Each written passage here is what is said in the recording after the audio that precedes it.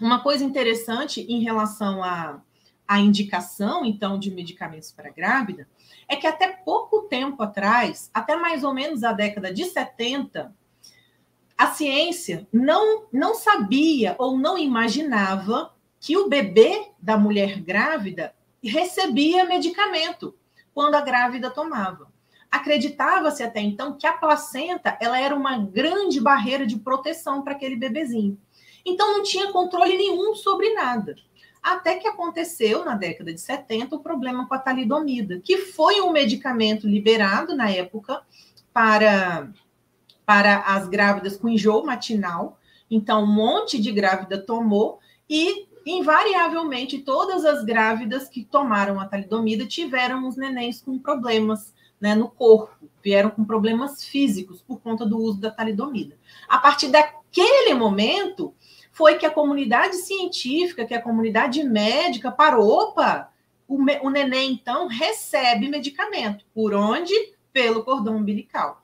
Então, na realidade, tudo hoje se sabe. Tudo o que a mulher toma, o nenenzinho vai receber. Os medicamentos de absorção atravessam a barreira placentária. Então, a gente vai. A, a, hoje existe um, um cuidado maior nessa dispensação. Mas existem muitos médicos, por exemplo, que prescrevem com base na experiência deles.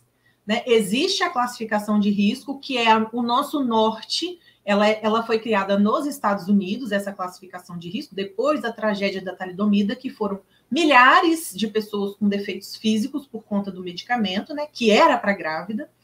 Então, o, lá nos Estados Unidos, eles começaram a fazer estudos para classificar o risco dos medicamentos. Esse é o norte que a gente tem hoje na hora de fazer a indicação de medicamentos, tá certo? É a classificação de risco que eu quero que vocês anotem que eu quero que vocês fiquem muito feras nisso, porque é isso que vai te ajudar lá na farmácia. Isso é que vai te nortear lá na farmácia a fazer a prescrição a, ou a indicação correta para o seu paciente, tá certo? E também para poder orientar.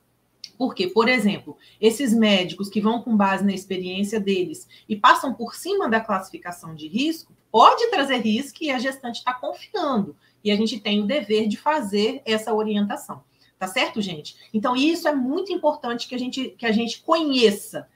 O que, que o farmacêutico tem que conhecer primeiro, antes de fazer indicação para gestante? Classificação de risco dos medicamentos. Entender como é que funciona essa classificação de risco e aí saber encontrar essa classificação de risco que todos os medicamentos têm. E a partir disso, aí sim você vai fazer as suas indicações na farmácia, tá certo?